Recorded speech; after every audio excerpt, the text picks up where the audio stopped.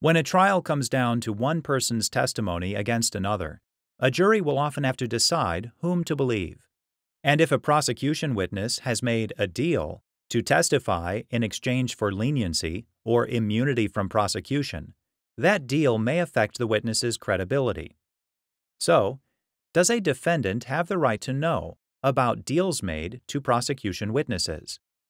The United States Supreme Court considered that question in Giglio v. United States.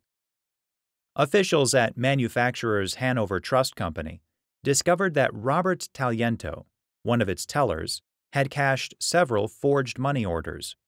Taliento confessed to federal agents that he'd given a customer's signature card to John Giglio. Giglio used the signature card to forge $2,300 in money orders, which Taliento then processed in the normal course of business. After hearing Taliento's testimony, a federal grand jury indicted Giglio. Taliento was named as a co conspirator, but wasn't indicted or charged. Taliento's testimony was the only evidence linking Giglio with the crime. At Giglio's trial, Taliento testified that the government hadn't offered him any leniency or immunity from prosecution.